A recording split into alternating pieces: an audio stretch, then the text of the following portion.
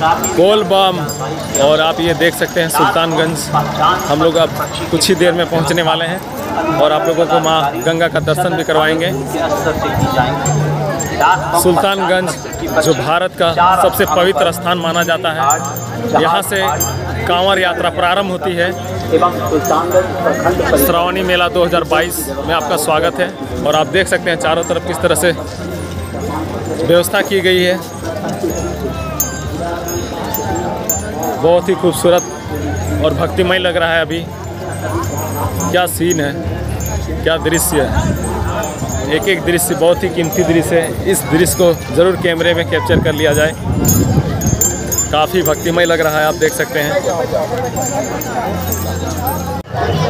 और ये जो दृश्य है, आप ये जो दृश्य देख रहे हैं, ये साक्षात माँ गंगा का दृश्य है, जो सुल्तानगंज में स्थित है। और यहीं से सभी कांवरिया जल उठा करके बाबा मंदिर देवघर के लिए प्रस्थान करते हैं। दोस्तों, मैं माँ गंगा के उस तट पे मौजूद हूँ जिसे लोग और ये पूरा दुनिया सुल्तानगंज के नाम से जानती है और मैं माँ गंगा का साक्षात दर्शन आप लोगों को करवा रहा हूँ।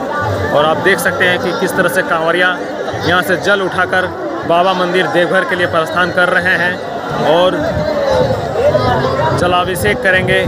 भोलेनाथ का।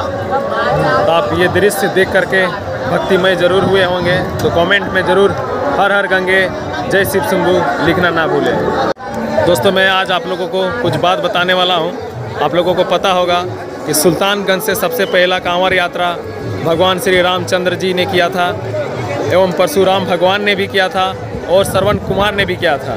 तो उसके बाद से ही यहाँ पे कांवर यात्रा प्रारंभ हुई है सुल्तानगंज से देवघर तक के लिए और देवघर में बारह ज्योतिर्लिंग में से एक जो बाबा बैजनाथ धाम के नाम से जाना जाता है, जहाँ पे कांवरिया सुल्तानगंज से जल उठाकर बाबा बैजनाथ धाम में जलाभिषेक करते हैं। तो अगर आप इस वीडियो को देख रहे हैं और अगर आप लोगों को यह वीडियो पसंद आ रहा है तो इस वीडियो को शेयर करें और कमेंट बॉक्स में हर हर गंगे। जय शिव शंभू लिखना ना भूलें।